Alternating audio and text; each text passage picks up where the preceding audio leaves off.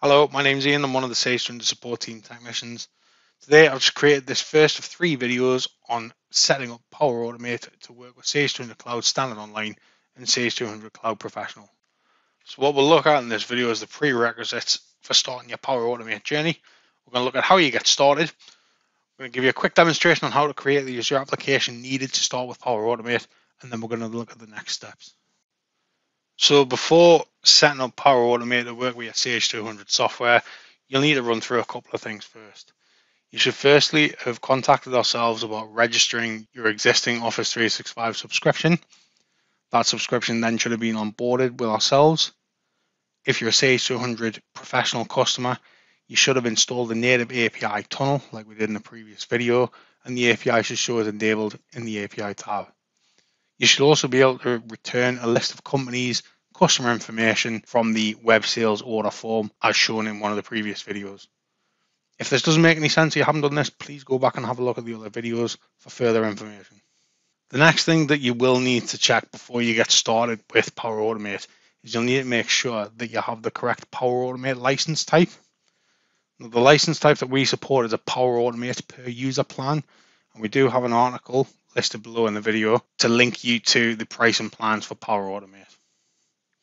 Once you have that pricing plan set up, you can then begin to onboard and set up Power Automate. So all we're going to do in this first video is we're just going to create the Azure Active Directory application. This allows the Sage API and the Sage 200 data to communicate with each other and to be used within the Power Automate flows that we're going to be uploading later on. What you'll need to do is you'll need to visit the Azure Active Directory portal. So you can go to this web address here. If it asks you to sign in, make sure you sign in with the same email address and password that you used when you set up and onboarded your Office 365 subscription. What we'll then do is we'll go to Azure Active Directory, app registrations, and then new registration. So we'll ask you for a name, keep it nice and generic. Let's call it Sage 200 application. Leave the supported account type to accounts in this organizational directory only. This will give you your tenant name and single tenant. The redirect URI is optional. We will need to come back to that at a later date. Leave that blank for now and just click register. Once the application has been registered, we'll need to make note of a couple of bits of information that we'll need for the Power Automate flows later on in the other videos. So what you'll need to do open up Notepad or sticky note. And what we're going to want to do is we're going to want to copy the client ID. So I'm just going to pop in here that this is the client ID. And what we'll do, if you hover next to the client ID, you'll see a copy the clipboard button. Click on that and just paste that in your notepad. What you'll also need to do is you'll need to generate a secret key for this application. So you'll click on certificates and secrets, client secret, and then click on new client secret create a description. We're just going to call it secret key and we'll set the expires to never. Means your application will always continue to work. The secret ever does expire in one or two years, the application will stop working. Click on add and then you see a secret key has been generated for you.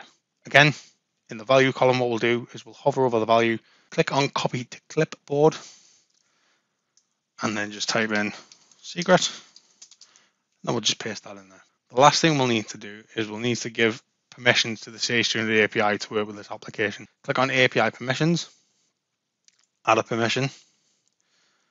APIs my organization uses, and just start typing in Sage 200. What you'll see when you click on Sage 200 is you'll see the Sage 200C API. If you don't see any Sage 200C products in this list like I do here, it means you haven't onboarded your Office 365 tenant with ourselves I'd advise you go back and watch another video on onboarding your Office 365 subscription. Click on the 200C API, tick on the box for user impersonation, and click on Add Permissions. And that's all we'll need to do for now. You can leave the screen open, we will need to come back to it later date to add that redirect URI in. The next step in the journey is going to be creating the custom connector for Power Automate. We're then going to go through setting up one of the demonstration Power Automate flows and finally, we'll get you started on amending your Power Automate flow so you can make your own routines and help automate your business. Thanks very much for watching, and I'll see you in the next video.